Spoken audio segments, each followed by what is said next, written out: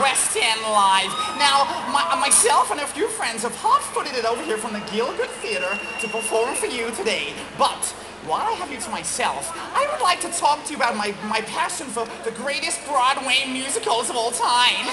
There is no one here to bother me.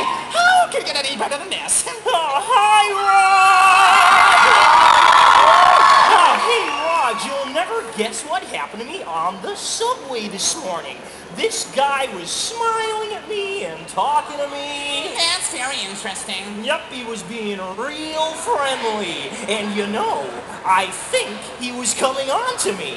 I think he might have thought that I was gay. Uh, so, uh, why are you telling me this? What do I care? I don't care. Uh, what do you have for lunch today? There's no need to get all I'm defensive. not defensive.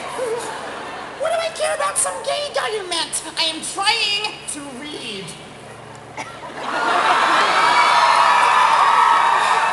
Well, I didn't mean anything by it, Rod. I just think it's something that we should be able to talk about. Well, I do not want to talk about it, Nicky. This conversation is over. Yeah, but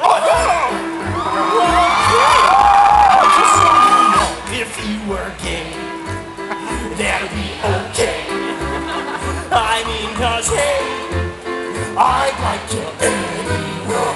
Because you see, if it were me, I would feel free to say that I was gay, but I'm not gay.